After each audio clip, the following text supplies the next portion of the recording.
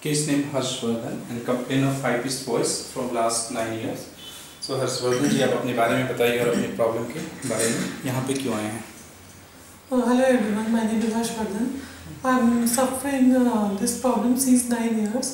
I uh, initially I didn't know that uh, I had this problem, but uh, later I came to know that uh, this problem is called pleurophonia by watching the video of Dr. Sanjay Kumar on YouTube.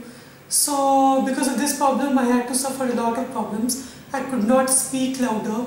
I could not speak clear. The people could not understand what I was trying to speak. So I thought I should come here for this treatment.